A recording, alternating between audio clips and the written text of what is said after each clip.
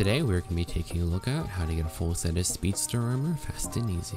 Hey everybody, today we're on Hypixel Skyblock with a brand new video, and today I'm going to be showing you a step-by-step -step guide on how to make an effective sugarcane farm, as well as the best way to farm sugarcane to get yourself a full set of Speedster armor in no time. First off, we need to get all the materials ready. What we would need is sugarcane, dirt, water, any block for example, I'm going to be using cobblestone, as well as a rookie hoe, preferably with Harvester 5 and Telekinesis 1 enchantments on it. Let's start off with the sugarcane. Sugarcane is located inside of the mushroom forest, which you can get to by going to the hub, going through the barn, and going to the teleport pad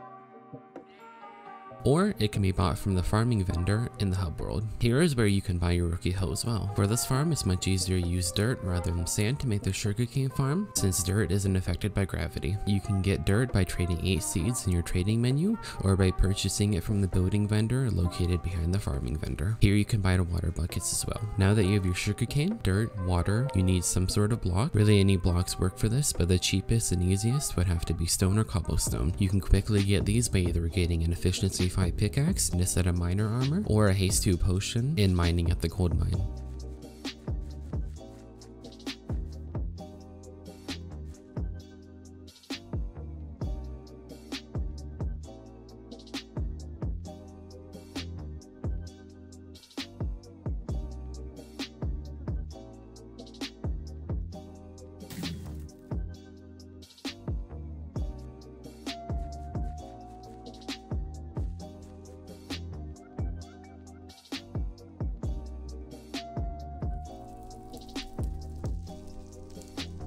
Or both can be bought from the miner vendor located to the right of the farmer vendor.